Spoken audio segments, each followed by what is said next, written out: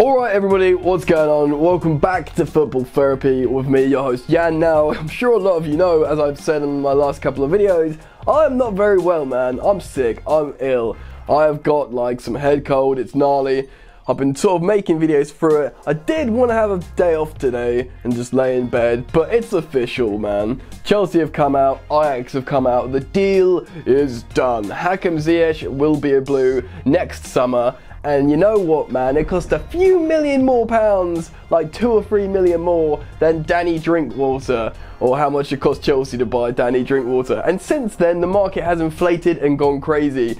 He is being sold to Chelsea for a much lesser price than De Ligt and De Jong, even though he's an attacking player, arguably their best, well, probably their best attacking creative player, and the, in his prime, 26 years old, it's just incredible business. Like, it is incredible business. So I have to make a video and talk about it today. It's just, I've just got to, I've just got to push through the illness, make the content for you guys. And the other reason I'm making this video today is because we've done it.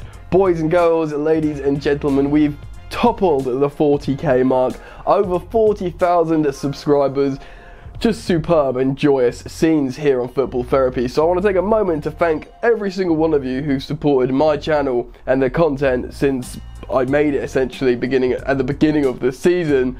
Really, really pleased, super humbled. I'm, you know, I'm gonna keep plugging on, making content all the time, as long as you guys enjoy it. So thank you very much from me to you. So before I talk about Ziyech today, quick reminder as per usual to subscribe to Football Therapy. If you've not yet done so, please do sub, hit that bell notifications icon, it is important, like the video, why not follow me on Instagram too, because I do Instagram lives to chat to you lot. Alright, let's get into it. So, it was only like a couple of days ago when Dutch publications, news outlets were talking about this deal, or even before that, a deal potentially being talked about in principle for next summer, but things went from 0 to 100 real quick in the space of two days, and then Chelsea and Ajax both announcing it today. It is peculiar how Ziyech didn't get sold over the last couple of years. He's such an amazing player in his prime.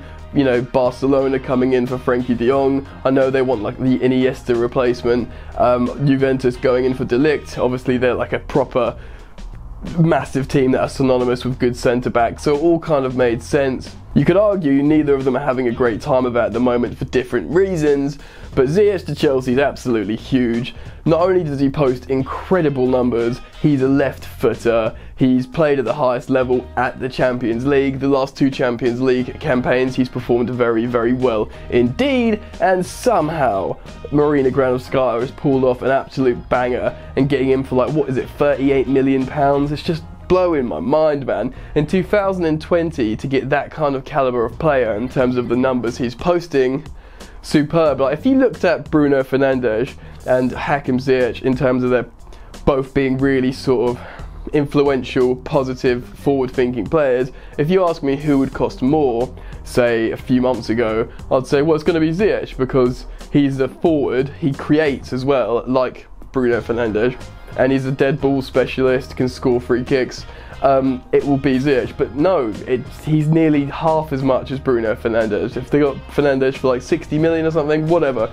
Point being, I want to reiterate, the business is absolutely incredible from Chelsea. Now, I'm not going to talk about the implications of him playing for Chelsea, whether that means Chelsea won't sign Sancho or do you know what I mean? All this kind of stuff. If you want to get my opinion on that, go watch my previous two videos where I do talk about this, what it would mean if we got Ziyech. So my opinion still stands with all of that. I just want to talk about Hakim as a signing for this video moving forward. So Chelsea did announce, of course, today on their website with an article that Ziyech will be joining the Blues next summer, and they finished off with this like quote towards the end of the statistics.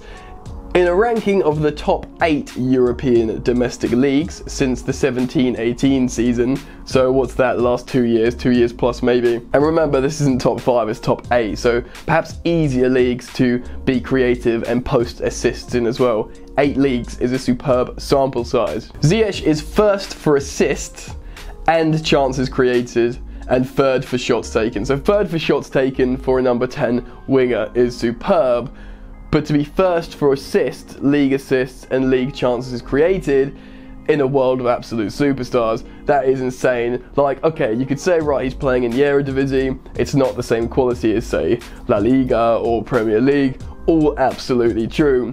But he's still posting those numbers in his relevant league. Obviously, there's good players playing in weaker leagues. And the fact of the matter is, he's he's been superb in the Champions League as well. He's demonstrated his ability on the biggest stage and you know amongst the biggest talent and competition. Ziyech is in his prime as well. It's very much a signing for now at an amazing value price essentially. But the last six consecutive seasons, he's posted over double figures for assists for the last six years. His consistency is mad. He's got an eye for a pass and although he might have to try and develop in the Premier League a little bit, more on that in a second, I think it's just undeniable quality at an undeniably amazing price. So, how is this game going to develop? Let's talk about it now. Right, Ziyech obviously is playing in the Eredivisie and you see some of his superb goals.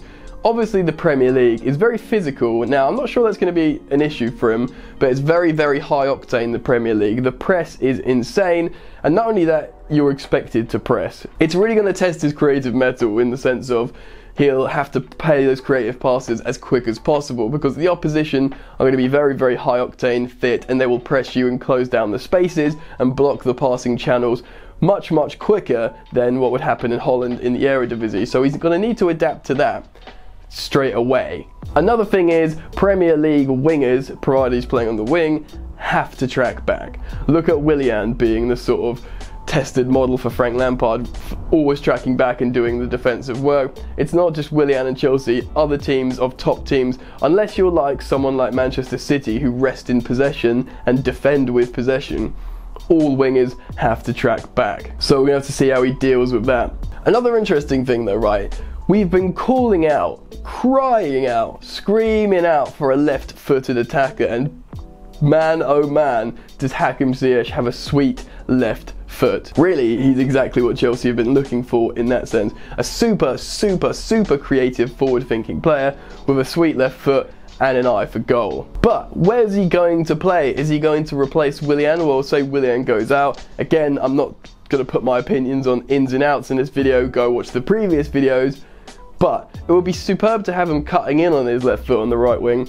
But he played against Chelsea in the number 10 role and he's played in the number 10 a few times. Now this is really interesting. Maybe Chelsea start Christian Pulisic on the left wing where he's been really good this season.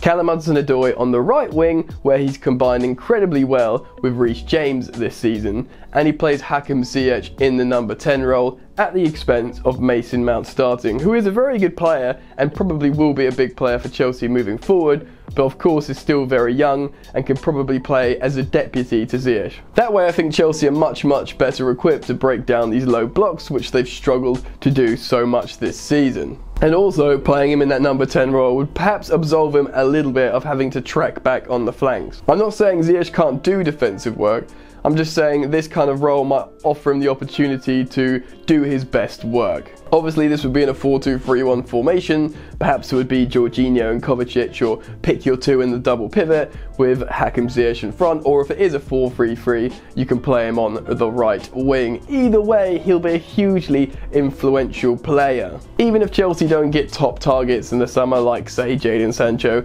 if they do have another striker rotating with Tammy Abraham, Pulisic on the left, Ziyech on the right, Callum Hudson-Odoi on either, and who knows, maybe Jérémie Boga as well, that's pretty formidable, especially if they're strengthening over the rest of the pitch in different areas. Right, just to reiterate how good he is, I want to tell you just quickly what numbers he's been posting recently. Uh, this season, bearing in mind we're just kind of two thirds through the season, he has 18 goal contributions in 18 appearances in scintillating form, four of the four man of the match awards with an 8.38 rating on WhoScored. 18 contributions and 18 appearances is all you really need to know there.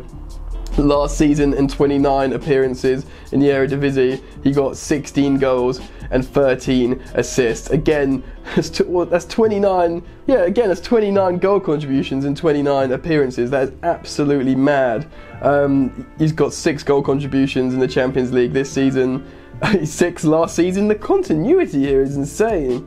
Not okay, get this. Nine Man of the Match awards two seasons ago, 11 Man of the Match awards last season. In terms of that Ajax side that are really, really good and creative, Ziyech is the one that's shining, the shining light. Sure, they had a good, you know, bright captain in De Ligt, but for me, the guy that's sort of really busting out all the creativity, scoring goals and assists, is Ziyech. Anyway, I'm sort of going to go around in circles here. It's an amazing signing at an amazing price. He's not like a 21 year old, he's not like us buying uh, Christian Pulisic or say Jadon Sancho or seeing someone like Hudson Odoi come through. He's got an extra six plus years on those guys. That's good though. He's in his prime. He'll believe in himself. He'll believe in his ability. The next sort of four years of Hakim Ziyech could be top top level stuff. So throughout the entirety of the contracts that he signs at Chelsea, you would imagine. The Blues are crying out for someone like that as well. It's all very well bringing in these youngsters. Even someone like Jadon Sancho, who seems to have proved himself at the top level, still a teenager. I know he's amazing, but you need, if Willian and Pedro are at the door, you need someone with a little bit more experience. And to be honest, again, it just seems like the perfect signing in many ways. I want to just highlight the positives here. But anyway, I want to get all your guys' opinions on this signing. What do you think? Are you buzzing like I am? Granted, I'm a little bit ill, so I'm not as bright as I'd usually be when I talk about this stuff. But his scoring record speaks for itself, but I want to get all your opinions on how do you think his ability and his performances will translate to English football and the Premier League? I mean, there's a relative I don't want to say no risk, but it's because it's like you know still 35 plus million, but it's not like they've spent 72 million on Pepe. Like to bring that comparison in, Pepe cost literally twice as much. He hadn't played in the Champions League. Um, he had that amazing one breakout season before, I think. I'm not sure the previous season, so I probably should check that. But Ziyech has been consistent for the last six years. The last two years, he's played at the highest level in the Champions League costs half the amount of Nicolas Pepe. So uh, there's a bit of risk, but it's not as much risk as say buying Pepe was. But what do you think? Do you think he can play in the Premier League well? Get down in the comment section below and let me know your thoughts and opinions. If you have enjoyed this video today guys, sorry I'm not as bright as usual, please do like the video, that means a lot. Remember to subscribe, we're just on the train to 50k now man, and it's dope. Please do subscribe. Remember you can follow me on social media at Football Yannick on both Instagram and Twitter. That's it from me, guys. I'm going to go lie down again. You enjoy the football, and I will see you later. You ain't so tough with that bad boy tuck. I'ma get it how I'm living, I'ma walk the walk. Outline my lines, I rap through thought. Body bag the verse, outlined in chalk. In my life, seen trouble, hustle on the double, silence on the trigger like my pick got a muzzle. Yo, chick like to guzzle, bad boy stay in trouble. I only love this paper, sorry I don't. I laugh me, baby.